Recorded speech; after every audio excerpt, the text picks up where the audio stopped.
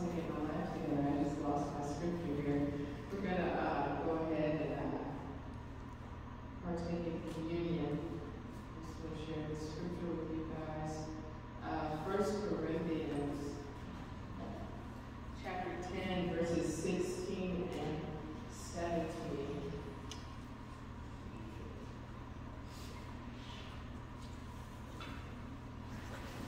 The cup of blessing which we bless, is it not the communion of the blood of Christ?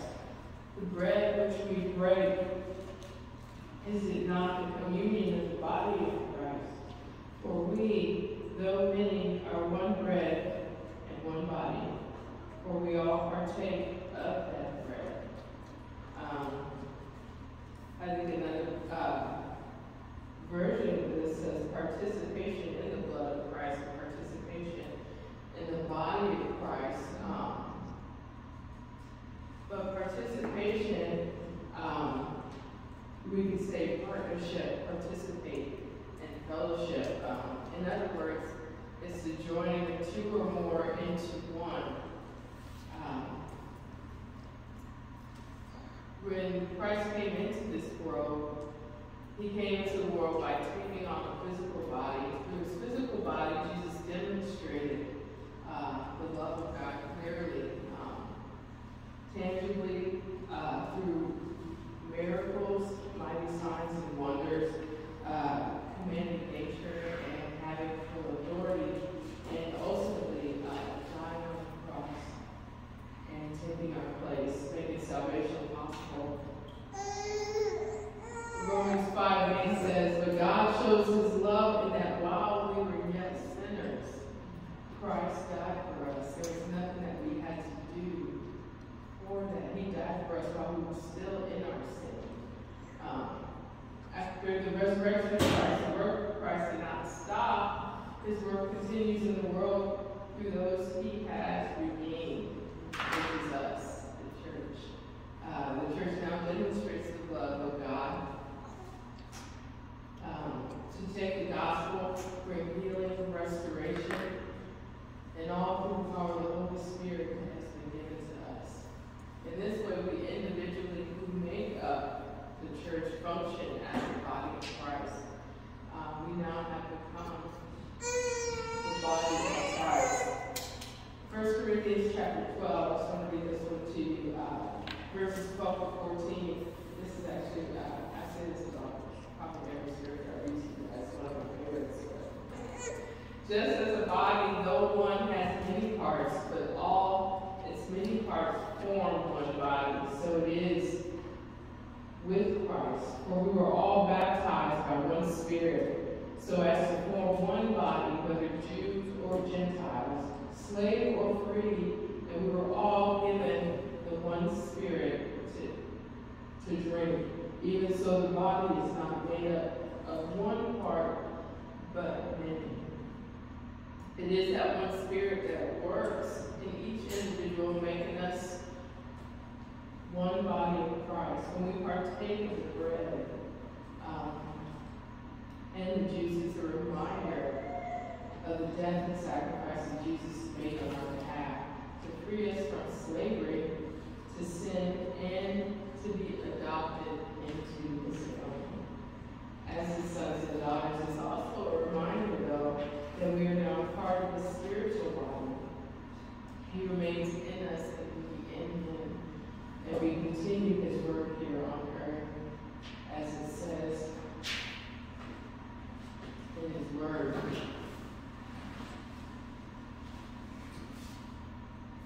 So with that being said, we are one body. Uh, I love our church family. Uh, we are the body of Christ. So if you ask me, I think that is a bond that is not easily broken, which means we all need each other. So let us remember that as we take communion, when we are Christ's body, uh, we need each other. If one of us, if one of us is struggling or falling, it affects all of us one as um, a victory to celebrate. All of us are rejoicing with it. Um, let's remember that as we remember what Christ did on the cross for us this morning and take communion. Father, we thank you. We thank you for sending your son. Um, Father, you know all things um, that we don't know.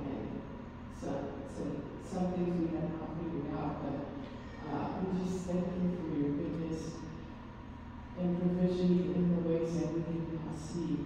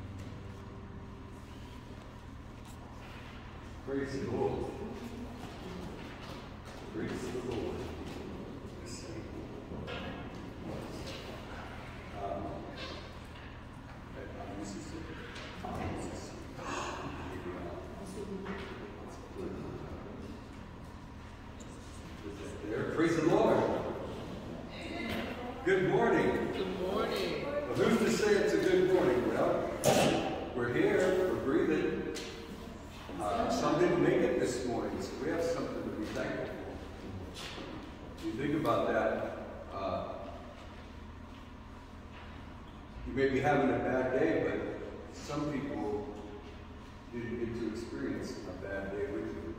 Their days are done. So, if we have breath, uh, let's praise the Lord.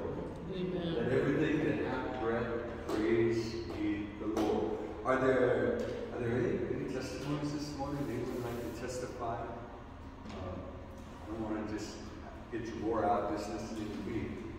Uh, I really enjoyed the worship time. Yes, really? It's just been such a blessing to be able to come here. My husband had got called out last night, but the, the devil will come against you whenever you're trying to do something good. And we held this meeting come into this new area, and the only thing that occurred was my bag of past letters to my grandmother, my father, things that really meant something to me.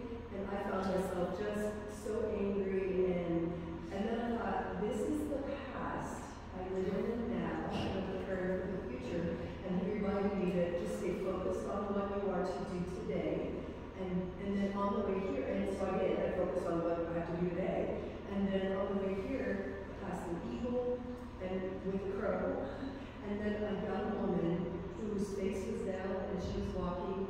And I thought, that's the person that we're supposed to reach. That young lady, I don't know what her situation was, but the Lord prepares us and we have to forget the past. So it, he just like showed it to me today so clearly. Awesome. Awesome, awesome. That's good. Anybody else? Anybody else like can testify? We went to a, um, we call it a conference, Godspeed, Godspeed. con- Godspeed conference at our uh, our church in Spokane. My brother Van and his wife uh, Lori, and uh, it was quite amazing last night. I. Uh, uh, the prophecies went forth, and I know that the, the two two men that were not from here, um, they're friends of Van, have been friends for years, but Van doesn't tell them about the church or the people or whatever because he doesn't want to interfere. Uh, he wants whatever needs to be said to come from God. So, but there are things that I knew about people that they prophesied to, and I'm like, whoa, uh, this is God. This is God. So we had a good time. Uh, God touched my heart in a special way. I'm excited, rejuvenated. Um, though I am a pastor, and I've been a pastor for years, since 87, 1987, uh, in various places, I make myself or bring myself under other preaching and teaching. Because guess what? If I could think I could stand on my own, the devil I mean, the devil could flick me like a booger off his finger if he wanted to. Sorry for the, for the for the illustration there. But really, again, none of us are any match for the devil. What are you going to do? You know, karate chop him, put him in a chokehold? No. None of us are a match, no match for the devil. But you know what? Under God's grace. What's a song she testified about? Tis so sweet to trust in Jesus. And then the one verse in there says, How I proved him over and over. Uh, I'm no match for the devil, but when the devil comes around, I call Big Brother. Jesus takes care of him every time. The devil is no match for Jesus.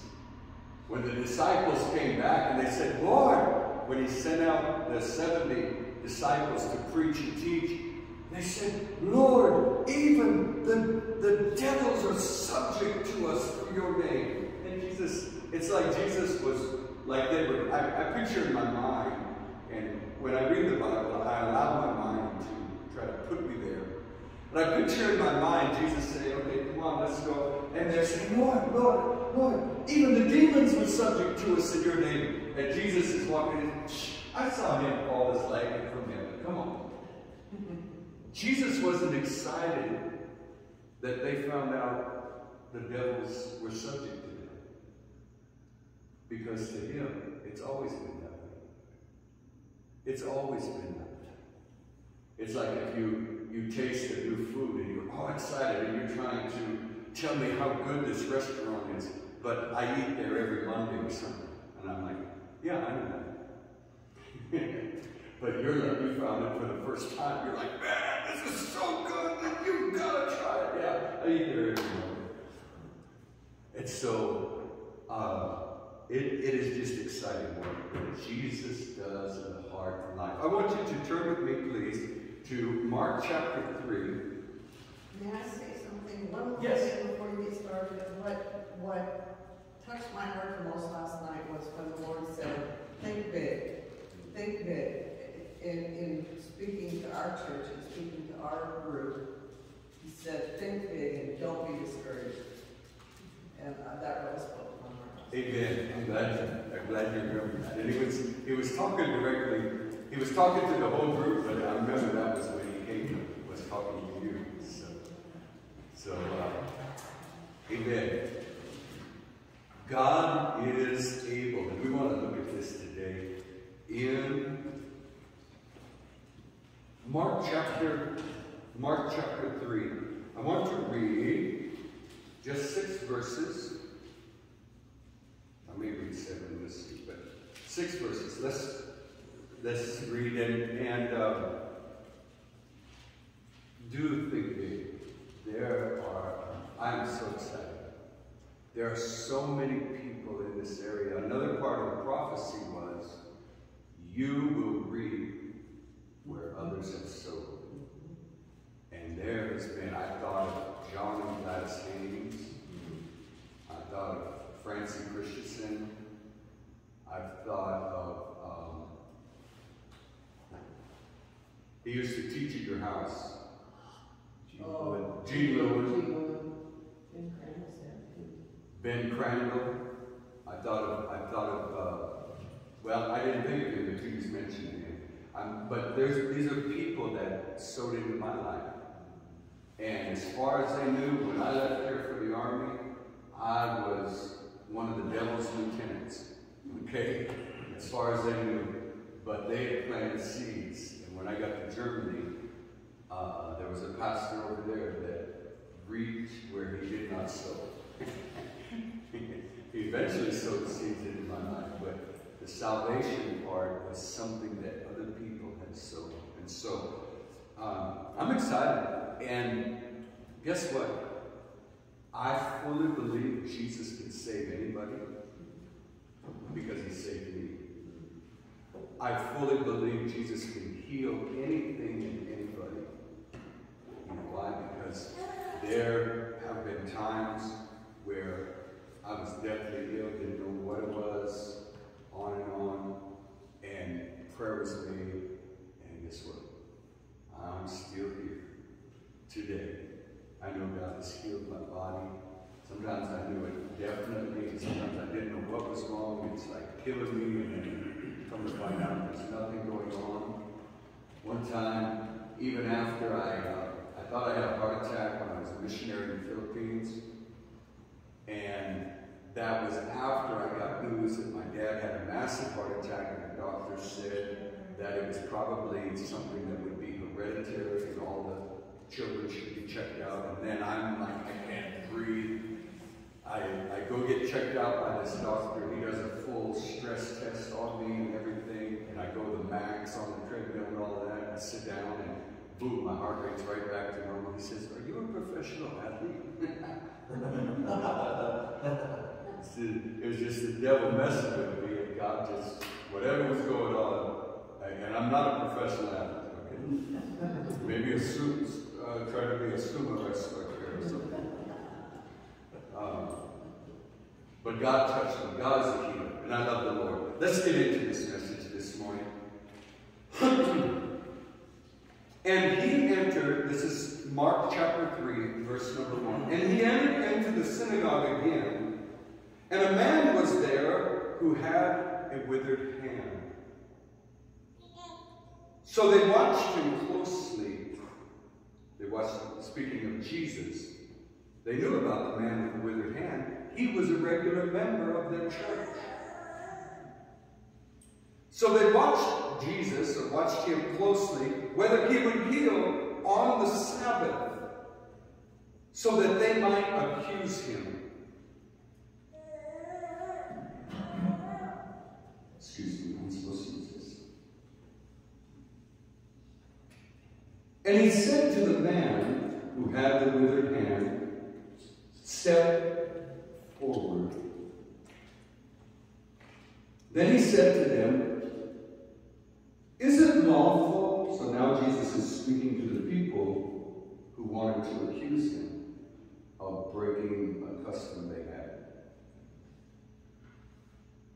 God had set it in motion, but they didn't understand it. And they were now treating it wrong. There's a lot of religions that they have traces of things that God has set in motion, but a lot of times they don't understand what it really was. So they have like remnants of godliness in what they do, but a lot of times there's not a full understanding of what God meant. So Jesus uh, said to the man, Step forward. Then he said to them, He looked to the accusers, those people that wanted him dead. Is it lawful on the Sabbath to do good or to do evil, to save life or to kill? But they kept silent. And when he had looked around at them with anger, now look at that, Jesus got angry. Now he didn't curse them, he didn't get angry, and run over them, and curse them, on and on. Anger is a normal emotion that God has put in us. Did you know that? We just let it get out of control and punch doors, and, um, probably do a whole lot of other things. Anger, that anger, is an emotion that God put in you. It's part of you. But He didn't put it in me so I can get mad at someone that cuts me off on the road and I come up and bump their bumper and knock them in the ditch and flip their car over. Okay? There's a lot in the Bible about anger, but there's a, a way to be angry at what God is angry at. Here Jesus was angry. And he looked, uh, looked around at them with anger, being grieved by the hardness of their hearts. He said to the man, Stretch out your hand. And he stretched it out, and his hand was restored as whole as the other. Then the Pharisees went out and immediately plotted with the Herodians against him how they might destroy him or put him to death. But Jesus withdrew with his disciples to the sea, great multitude from Galilee followed him, and from Judea. We've been speaking on the topic, the Jesus way. A lot of times, I was even talking to someone this morning, and I, I told them that we weren't just a certain religion. I met the person for the first time just this morning.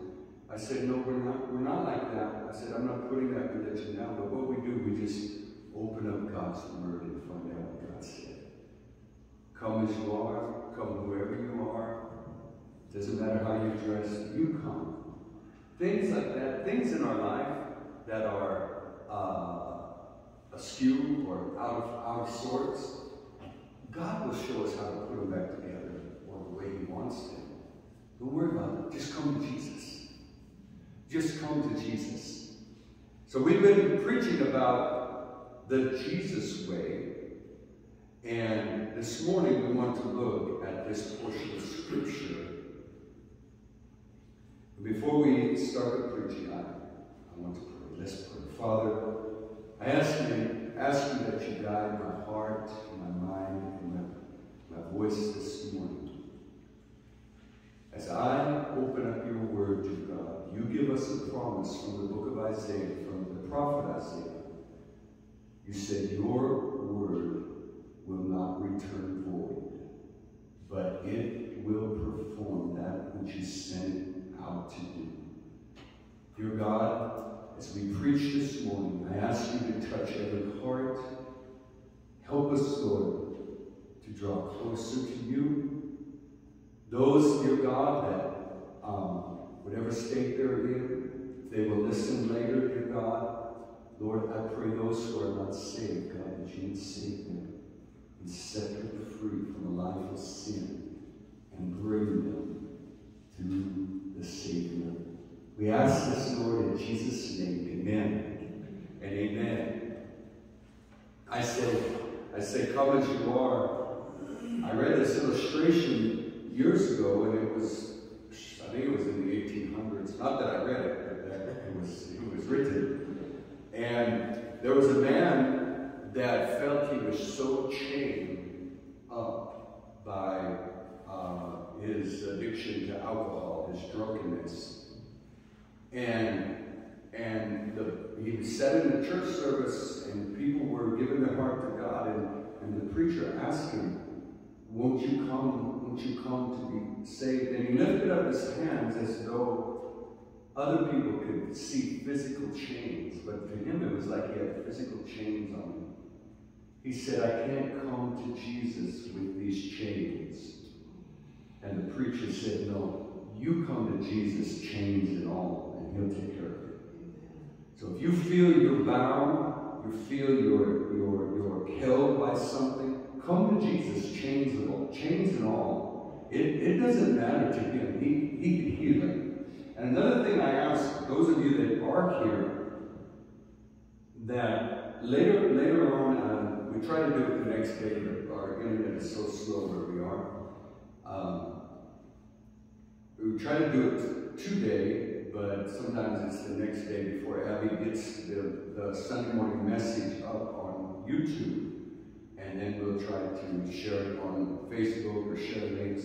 But if you have someone, if the message touches your heart, I'm not telling you you have to do this, um, but if the message touches your heart and you have a Facebook account or YouTube or whatever, um, yeah, tag your friends in it. Send it to your friends. Say, hey, listen to this message. It touched my heart. You don't, don't have to say, hey, the preacher was talking about you today. You should have been there. This is it. You know, they may not listen to it that way, okay? If it touches your heart, you send it to your friends. Let's look at this this morning. The Bible says, we're going to go back and just, just uh, draw from this this morning. In verse number one, speaking of Jesus, and he entered the synagogue. Now, the synagogue, we could just say, was the Jewish church. I want to show you something. Jesus went to church. Do you ever hear people that maybe you talk to them about, you know, coming and visiting church and all that? They say, uh, no, uh, uh, one time I, I knew, knew this lady, she said, she said, I just believe I need to be like Jesus. I can just sit on a rock and, and talk to God. And guess what? You can. But my question to her was, how many times have you just sat on a rock and talked to God? Okay? A lot of people say, Jesus never went to church. He preached in the open. He preached in the, in the fields. He preached on the sea. Yes, he did. But here and many other places it says he went to church. Jesus went to church, a gathering place. And later on, well, it is later on, but it's in the book of Matthew, chronologically, later on, Jesus said, I will build my church, and the gates of hell shall not prevail against it. I believe that's Matthew 16 and 16, right in there. Okay, I don't have it written down. Okay, you think about that. The gates of hell prevail. Hell uh, is talking about the hordes of Satan. Uh, uh, Satan brings sickness, he brings disease, he brings division, he brings hatred, he brings murder, he brings adultery, he brings every evil under the sun comes from the hordes of hell, comes from Satan himself and all his little imps. They, they, they, they come and they try to uh, infiltrate your mind and mess with you, get you thinking the wrong way, get you to act the wrong way. Okay? Jesus said he will build his church and the gates of hell shall not prevail. That means win or war or stop. What? God's church. So guess where I want to be? I want to be a place where the devil can't defeat. I want to be on a team that is, is undefeated. Now, we may have individual losses and we lose battles, but guess what? Jesus won the war. Gee, the war is already won, okay? So there's a song that says something like, I'm, I, I'm, I'm not going to worry about uh, fighting battles in a war that the devil's already lost. Jesus went to church. Always remember that. People say, well, I don't go to church. I don't believe in church. I don't, I don't go to... Jesus said, I would build my church. And Jesus instructed them to meet and come together. And it's about encouraging one another. We need one another. We, we, we need, uh, when, when you testify, when I open it up for testifying, you tell me something, a scripture that is on your heart, or you tell me something God did for you, or that, that God touched your heart. That's the person we need to reach. The, these things touch my heart. A lot of people think the preacher doesn't need in, in, encouragement or strengthening. You strengthen me. Amen? So, I first want to point out Jesus went to church. Verse 2, the Bible says, so they watched him closely. So, Jesus came to church, and here are these people that are in church every Sabbath day and probably you know, other feast days and special prayer times. And Jesus showed up at their church and they're watching him. They watched him whether he would heal him, the man with the withered hand, on the Sabbath. Now, what they did, way back, when God gave Moses the law, he told them you should not work on the Sabbath. Okay? Now, of all the Ten Commandments, the Sabbath day is the only one that is not backed up in the New Testament. In fact, in the New Testament, Paul says some men esteem one day above another, other men esteem. In Christ, every day is the day to worship God. Every day is, is a, a Sabbath, okay?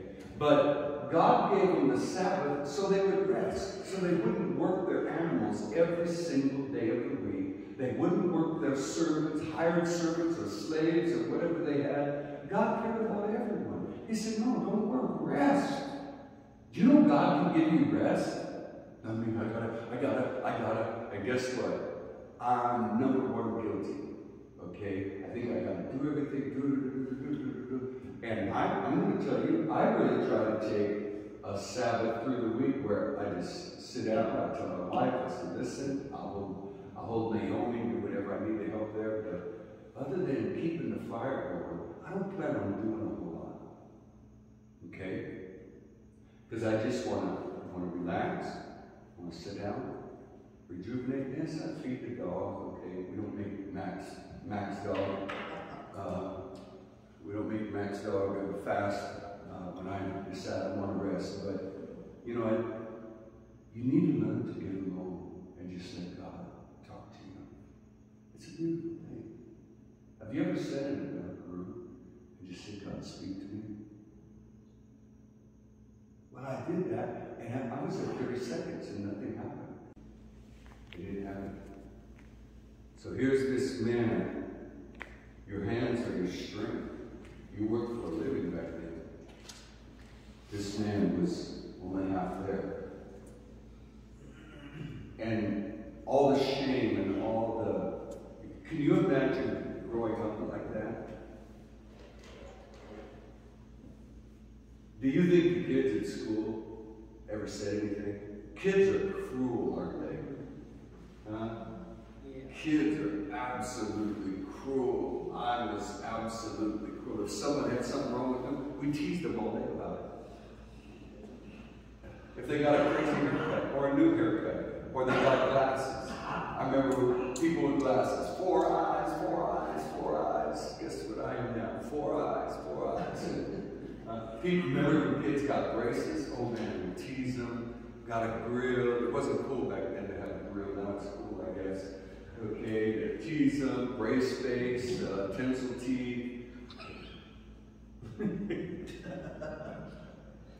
Kids are cruel. All this man went through, and Jesus said,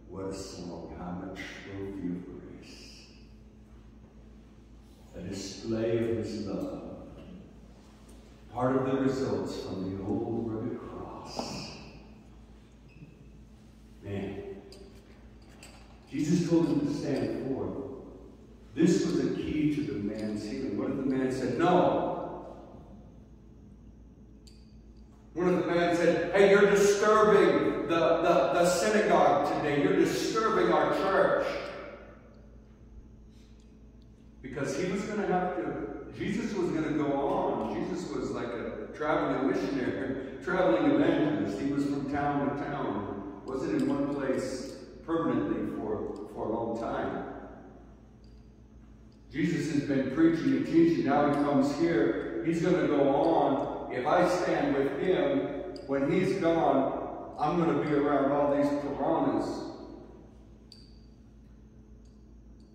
The man could have said, I'm not standing forth. I'm not coming forward. I'm not doing this.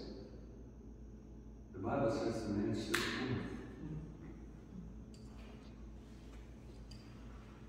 When we have a defect, a handicap, many times we are ashamed of it, we try to hide it, we try to cover it. God is always looking for honesty and sincerity in us. God knows that we're sinful creatures. This came from the fall, came from Adam and Eve.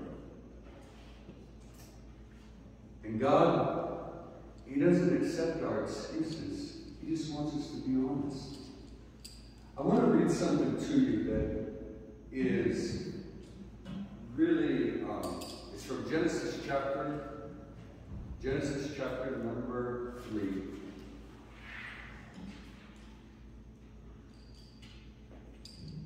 Genesis chapter number 3 is in the Garden of Eden after Adam and Eve sinned. I want to show you something. I'll just start in verse 9. They had already sinned. And the Lord God called to Adam and said, Where are you? So he said, I heard your voice in the garden, and I was afraid because I was naked and I hid myself. Now, Adam was never afraid of God before, but Adam Eve had been talking to the devil. And now they're afraid of their own answer. They're afraid of the one that can heal them. They're afraid of the one that can, can clean up the mess we just made. And God said, Who told you that you were naked? Have you eaten from tree of which I commanded you that you should not eat? And look what Adam says. Then the man said, The woman you gave me to be with me, she gave me of the tree and I ate. So whose fault was it that Adam sinned? It was God's. God said, What have you done? Have you eaten of the tree that I forbid you to eat from? And, and Adam said, That woman you gave me, she gave it to me. You gave her to be with me, and she gave it to me to eat. Adam never said, Yes, Lord, that's what I did. He didn't say that. He gave God a, a list of excuses and then God turns to the woman. And the Lord said to the woman, What is this you have done? And the woman said, The serpent deceived me and I ate. So God, you made the serpent,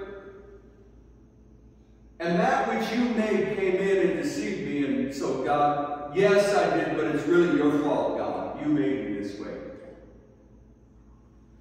What am I saying? They gave God a bill of, I mean, a whole longer list of excuses. No excuse. No, there was no, I'm sorry. There was no repentance. There was no forgive me, God. Just a list of excuses. And chapter 3 ends this way, verse 23. Therefore the Lord God sent him out of the Garden of Eden to till the ground from which he was taken. So he drove out the man, and, and he placed cherubim at the east of the Garden of Eden, and a flaming sword which turned every way to guard the way to the tree of life. Adam and Eve made a big old mess, and they wouldn't just tell God what they did. They gave God excuses. There was no repentance, no I'm sorry, no brokenness. Okay? I've, I've, preached from there before, and I said, when by the time God came down, he should have saw blood all over the garden. And God coming down, what's this mess? What's God? There's blood all over here. And God, Adam should have said, Lord, we ate from the tree. We listened to that snake, but I took care of him. That thing's dead. I chopped him up and fed him to the lions. But no, there was no I'm sorry. It, was, it was just a list of excuses. When Jesus came to heal the man, he wasn't trying to, he wasn't trying to um, uh, embarrass him. He wasn't trying to, to bust him out. He was just trying to get the man. I mean, what if the man, if the man did, who are you talking to? What are you talking about? I'm okay, you know. I'm okay. I'm fine. Probably would have just passed on. Because there's other people that needed help. But Jesus wouldn't help them because they, they wouldn't act in faith. They, they wouldn't just ask him and have faith. They, they, they drove him away, the Bible says. So in Genesis, there was, there was no, there was no, please forgive me, no, I'm sorry. All they did was give God excuses. And so they remain the way they are. I give, give you a scripture in Proverbs 28 and 13. The Bible says, He that covereth his sin shall not prosper, but whosoever confesseth and forsaketh them shall have mercy.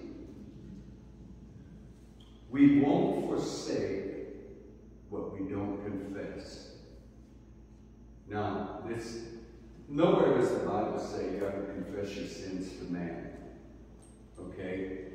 That that is, I mean, if if I gotta confess my sins to Zach, hey Zach, I messed up again. Oh really? Well, I messed up quite a bit too, you know. Have a good day, I'll be praying for you. Okay. Uh, uh, imperfect man going to an imperfect man, you know, we feel sorry for each other. And uh, and yeah, I did that too once in my life. And uh, okay, no, no. We confess our sins to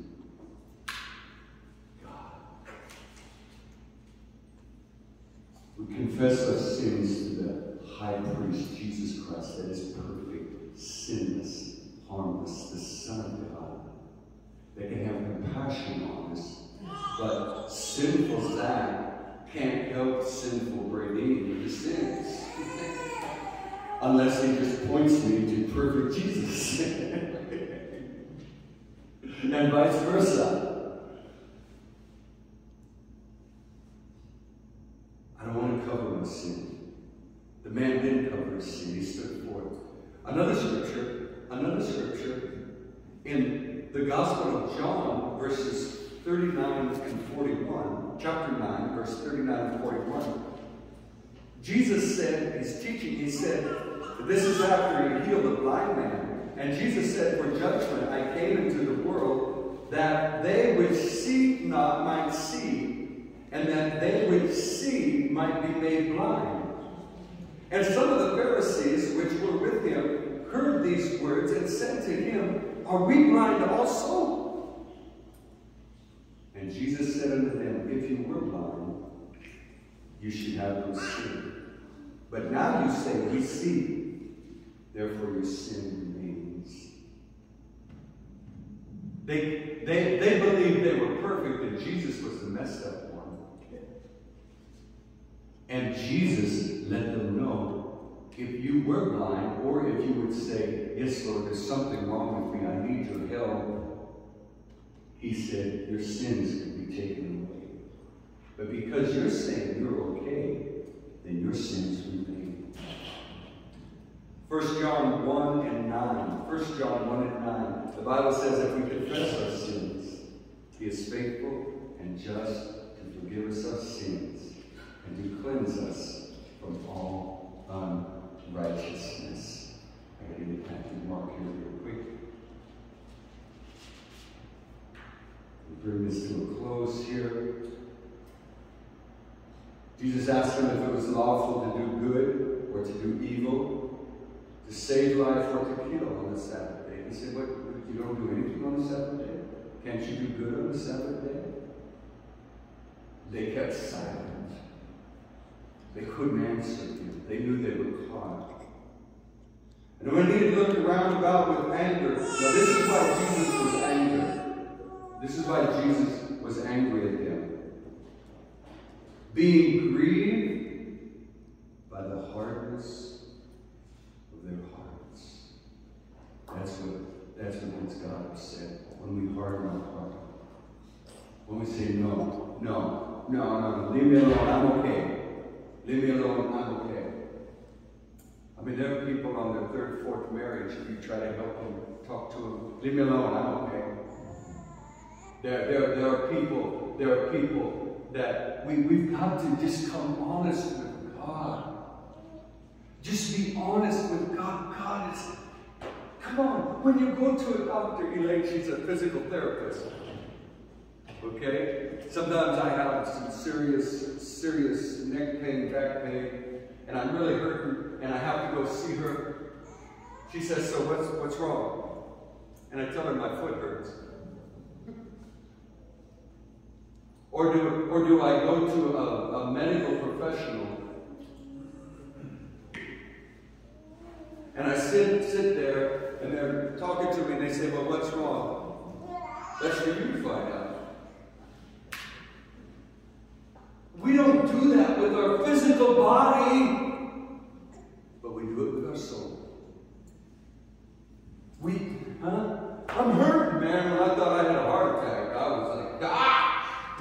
I prayed, yes, but it didn't go away. Took me to the doctor, take me to the hospital, do something, all right?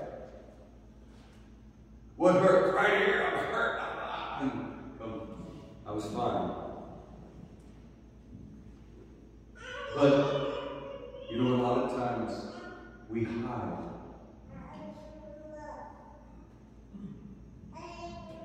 A lot of times we cover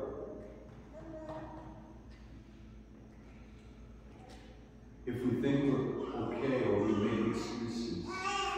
You know, if if we have something going on in our mind, what about people, a big thing in the world, because there's so much, so much, and I, I believe it's a big issue.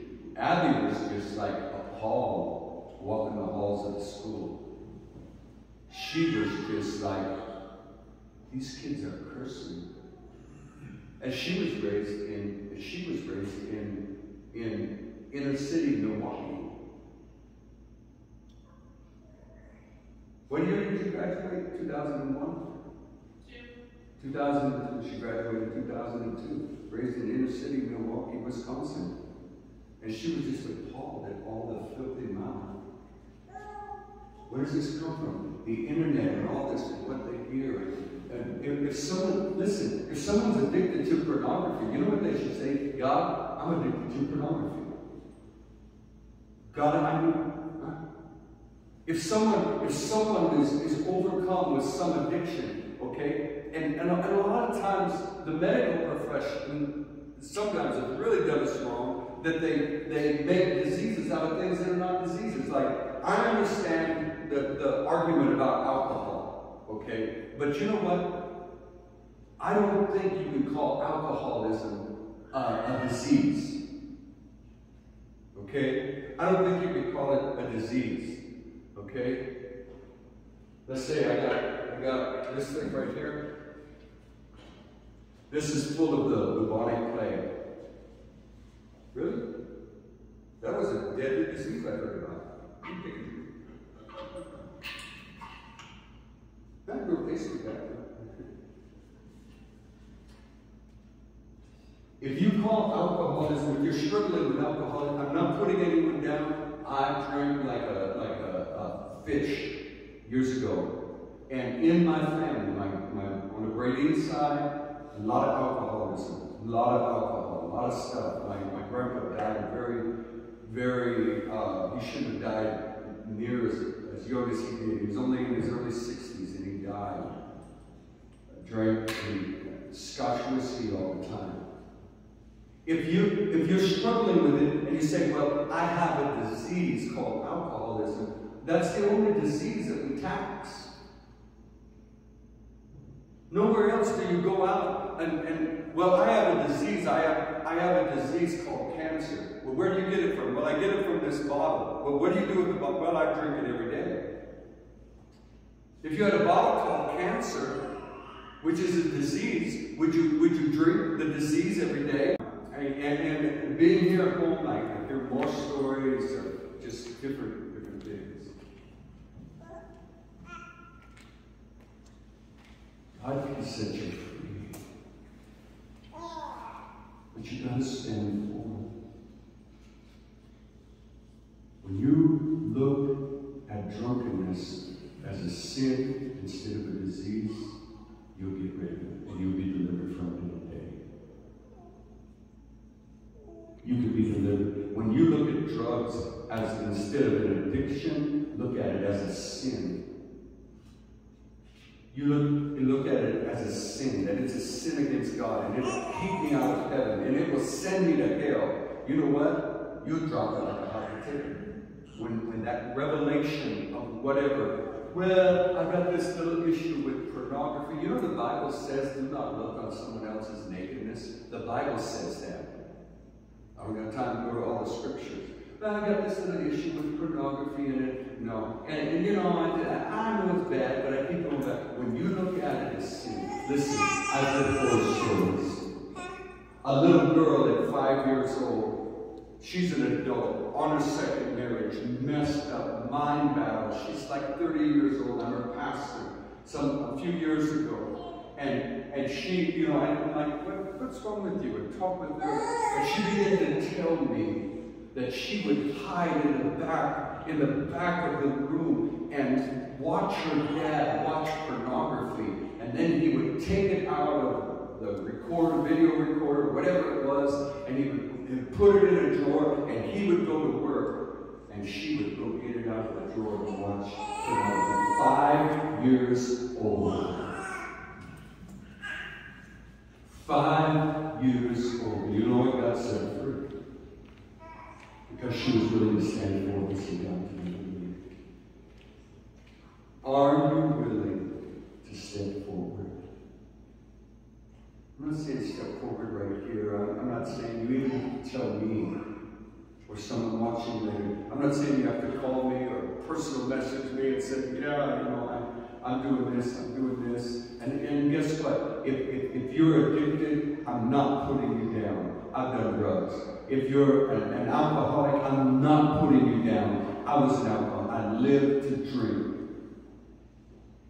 I'm not putting anyone down, but I am telling you, all I am is a person that was full of sin, that has been healed by the hand of Almighty God. And I'm telling you, a place you can be healed. That's soul winning. You know what soul winning is? Simple description. So the best description I ever heard, I think, is a beggar who has found bread, who is now out telling other beggars where they can be filled.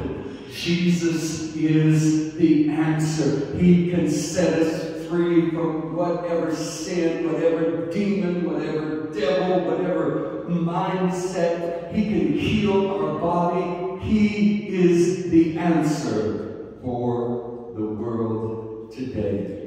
Jesus told the man, stretch forth thy hand. What he did, he did. God wants to heal you and put you on display. And so all the world, maybe not, maybe not Africa or India or Brazil or whatever, uh, maybe you'll never go there, but this part of the world, Buttercup, Inchelium, Nespelem, Omak, Keller, the entire reservation where we are, God wants to save you and come and live in your heart so you can be on display and the world can go. Something happened. Because people look at me crazy. We just did a funeral. God bless the Camp family. Uh, Judy passed away, wonderful lady.